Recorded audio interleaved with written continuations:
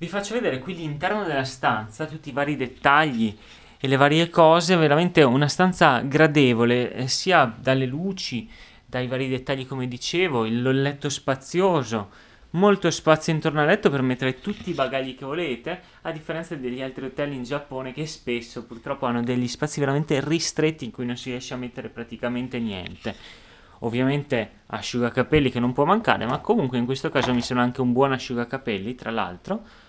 Luci gradevoli, Bagno molto eh, spazioso, magari non molto spazioso, ma comunque spazioso, non la classica unit bath che è presente in molti hotel, sapete quella specie di scatola dove lavarsi e eh, fare tutto quanto, insomma, qui invece è un bagno diciamo classico, molto gradevole e bello direi.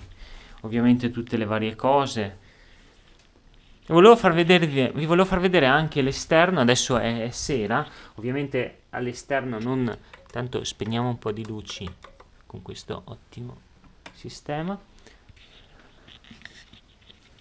Anche qui spegniamo la luce del bagno. Eccola qua. Faccio vedere un attimo all'esterno, tanto per così darvi un'idea di quello che si vede. Ovviamente non tutte le stanze hanno la stessa vista, ma comunque non è male, no?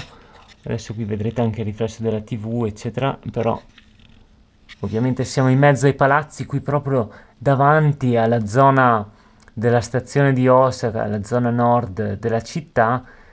Chiaro, eh, a uno potrebbe piacere o non piacere questo tipo di vista. A me piace molto, chiaramente, perché siamo proprio in mezzo alla vita della città.